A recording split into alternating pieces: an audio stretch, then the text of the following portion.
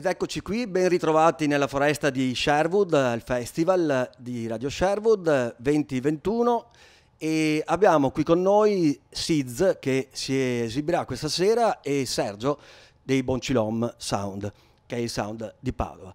E niente, li abbiamo qui perché eh, giustamente eh, volevamo chiedere un po' di cose inerenti all'album che è uscito e quello che uscirà, visto che si sta lavorando anche su questa cosa. Se vuoi parlarci un po' di te, eh, come mai ti sei, come sei approdato alla musica reggae, come mai hai questa, eh, Ma, questa diciamo, passione? Sì, il reggae è una musica che comunque mm, mi accompagna fin da bambino, dopo, sai, le cose classiche, uno ascolta il Jamaican style, quindi sono cresciuto con quelle vibes lì, quelle vibrazioni lì, è una musica che mi ha avvicinato parecchio, mi ha fatto crescere moralmente, mi ha fatto passare bei momenti, quindi insomma... Ti hanno colpito anche i testi, Sì, insomma, mi hanno il colpito messaggio che... soprattutto i testi. Dopo, chiaramente, sai, eh, noi siamo qui in Italia, quindi la cosa è vista un po' stranamente, no? Cantare in patua e così, però...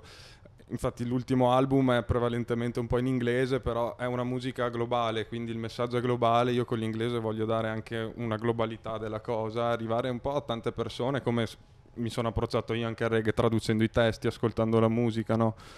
Quindi quello è il messaggio d'amore, di unità, eh, di tante cose, dopo è una musica potente. Il nuovo progetto, appunto, l'album è uscito, è uscito ormai quanto? Due anni fa? Sì, Road to Life, che appunto voleva essere un inno alla vita per tanti ragazzi che adesso, epoca Covid o prima, insomma, Era un pre-Covid comunque, Era un Life, no? pre-Covid e dopo è stato quasi un, un presagio, nel senso che comunque eh, dopo ci sono tanti fattori che portano i ragazzi a... Io parlo prevalentemente per quelli che sono i bambini che dopo cresceranno o i giovani della nostra anche età, anche un po' più grandi, che si perdono in tante cose. Quindi sì, mm, è un messaggio di unità, di stare insieme, uniti sempre, di andare avanti.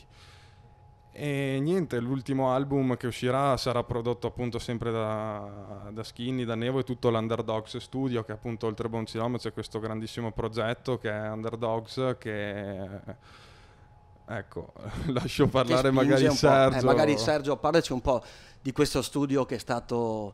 eh, che è in eh, lavorazione anche, Sì. no? Sì, sì, ehm, eh, sono ormai due anni, due anni e mezzo che io, Nevo e mm, altri ragazzi, siamo quattro soci, abbiamo dato vita ad Underdogs, che è uno studio di registrazione all'interno dei quali, oltre a fare recording studio, mm, seguiamo almeno eh, uno o due progetti l'anno in cui mettiamo anche una parte di produzione nostra, quindi anche musicale, eh, soprattutto per dare una mano ai nuovi artisti a emergere, quindi a dare nuova linfa vitale alla musica in generale.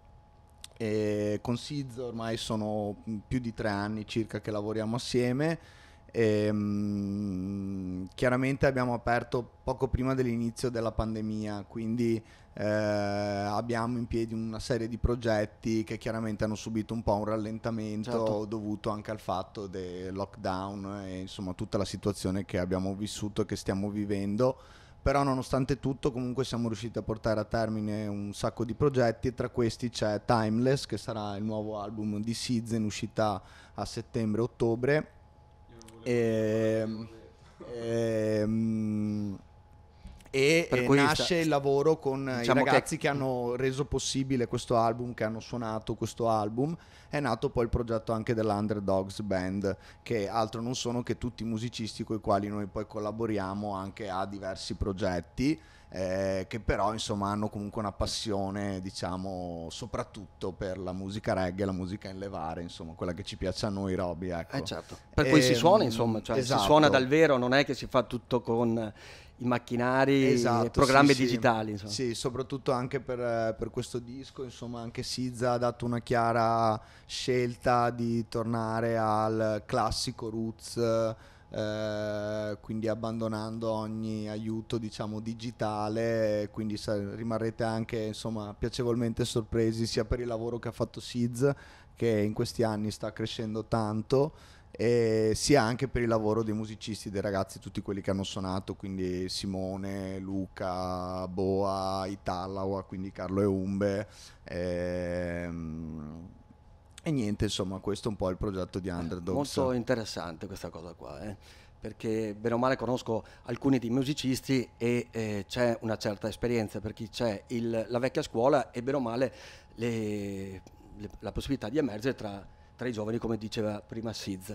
Il primo album non ho capito se era tutto quanto in, eh, in italiano oppure dicevi che... Questo... No, il primo album in realtà era praticamente tutto in patua. Quindi mm. sì, è una scelta stilistica mia perché comunque sono cresciuto ascoltando quel reggae lì e quindi sì. Eh, e comunque ti trovi bene insomma con Io sì, cosa. fluentemente con la lingua è un qualcosa che mastico da sempre, quindi ecco, mi ci trovo bene anche con il flow, con tutte le cose, come mm, appunto la potenza che dà. Quindi, certo, per cui hai, ecco. hai, fatto questa scelta come dicevi prima per arrivare un po' anche a più orecchie insomma. Sì, eh, diciamo di sì perché appunto il reggae nasce lì, eh, nasce in Giamaica, dopo è un messaggio globale, però appunto io mi sposto con questa musica un po' globalmente, no? quindi, quindi sì, ci sì, tengo che, che, si mantenga un po' la forma originale, dopo, dopo sono tutte scelte che insomma fanno il suo, fanno il suo perché.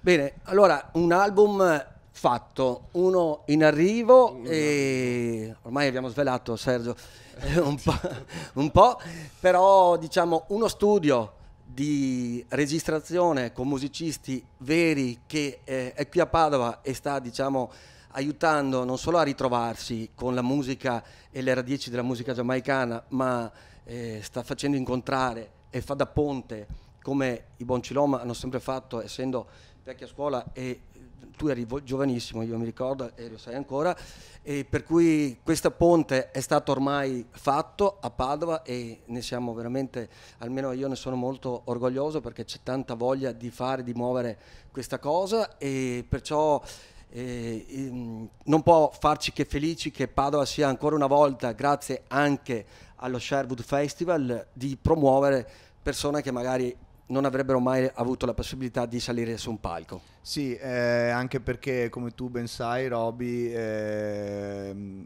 una passione comunque non si può solo prendere, bisogna anche cercare di dare qualcosa e creare una sorta di legacy o comunque una sorta di... Mh, mm, famiglia che poi continui a crescere in tutte le sue sfaccettature, quindi sia essere dei selecta, far parte di un sound, ma anche e soprattutto la produzione musicale, anche perché se la produzione musicale si interrompe, poi anche noi eh, DJ abbiamo difficoltà a suonare certo. qualcosa, quindi è importante per noi anche spingere soprattutto chi, i giovani che vogliono avvicinarsi a questa musica, eh, come è stato fatto poi anche con noi, insomma, quando eravamo più giovani, come dici tu giustamente. No, ma eh, Sizza ha, detto una cosa, ha detto una cosa molto importante prima, eh, divulgare un po' quello che era ehm, il messaggio originario della musica giamaicana che in, nella dancehall sappiamo tutti quanti che tante volte non è proprio quello il messaggio, ecco, però di,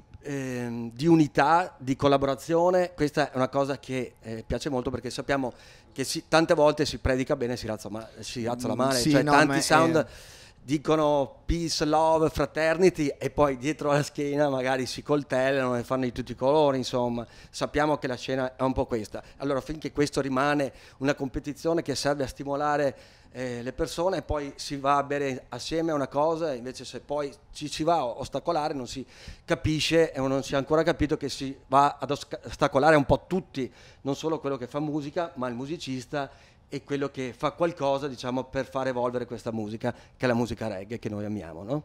Sì, per noi l'importante, ma come anche per Siz, per i testi, le, le canzoni, è soprattutto insomma, spingere la positività di questa musica, quindi lo stare bene assieme, come dici tu, trasmettere buoni, buoni messaggi, buoni propositi e stare bene assieme perché questa musica insomma funziona così per noi, per tutti. Ecco. Esatto, è, è, quello che dicevi tu appunto, finché è sana competizione ci sta, eh, dopo si sfocia sempre in qualcos'altro, ma sta ritornando l'unione, questo festival ne ha dato la prova, no? appunto tantissime realtà diverse negli anni, ma sempre con uno spirito di aggregazione, persone che magari ascoltano un sacco di generi diversi, ma che si ritrovano qui e quando si è sotto il palco dopo si dimenticano tutti i problemi che ci sono stati fuori da certo. qui, come dovrebbe essere la musica in generale.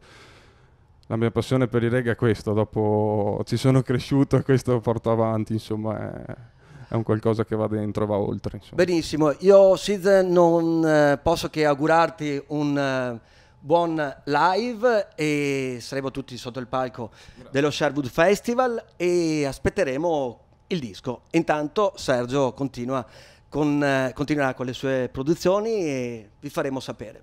Qui dallo Sherwood è tutto e buona serata.